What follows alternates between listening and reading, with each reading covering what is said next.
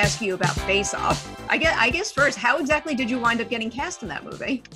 I got cast in the film Face Off because of John Woo, who is a hero of mine, and he directed that. It was his second American feature after Broken Arrow, and um, he was so incredible. And I had been friends with Chow Yun Fat, who is the star of many of his Hong Kong films and an iconic Chinese actor.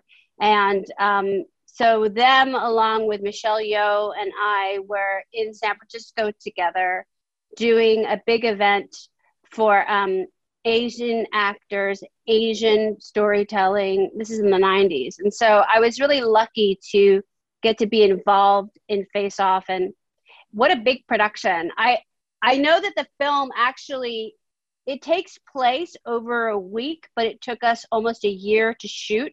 It was um, many, many, many stunts. They actually explode a plane and they really did. This is like 90s action filmmaking where they could they could actually explode a plane without cgi this is before so many of these things were created with cgi we had none of that. We only had planes and explosives. And um, you know there was a lot of uh, going to um, training camps where you would learn how to properly shoot a gun, properly uh, look like you were in the FBI. And um, John Woo had a lot of um, input on making sure that actors were comfortable with how uh, they were physically portraying these characters. You also had a stunt double that was the pretty much the physical perfection version of yourself, which is really strange so I had um, a stunt double, and I think John Travolta has like had like five or six of them, as did Nicolas Cage.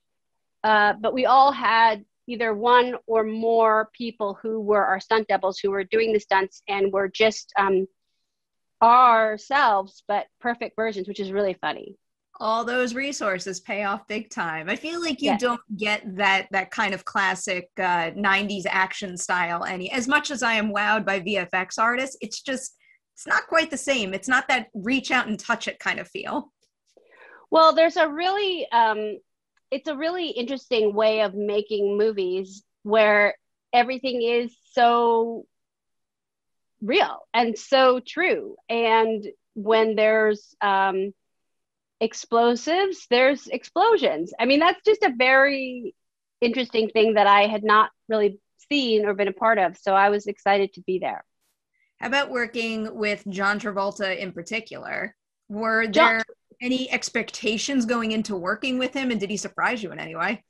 Well, John Travolta is just like a modern day king in that there's not really American monarchy, but there is in Hollywood if you think about it. And he's sort of in the last era of the golden age of Hollywood. He's sort of the last movie star in a lot of ways. And so he had this sort of like court around him of different people that he had worked with his particular crew, whether they were his stand-ins or his his um, you know stunt doubles or his uh, crew that he would bring from movie to movie. So you would see like sort of the skeletal like remnants of different films he had done over the years. And so that was really interesting. Um, he was a really jovial guy, really fun.